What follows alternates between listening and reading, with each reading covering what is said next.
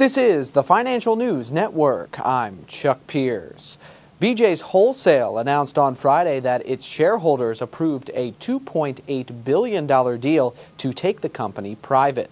Last June, the warehouse club operator said that private equity firms Leonard Green and Partners and CVC Capital Partners agreed to acquire it. An estimated 72% of shareholders approved of the deal, according to the company. The deal is expected to close around the end of the month. BJ's Wholesale Club is currently above its 50-day moving average of $50.35 and above its 200-day moving average of $48.61. For more updates, stay tuned. You're watching the Financial News Network.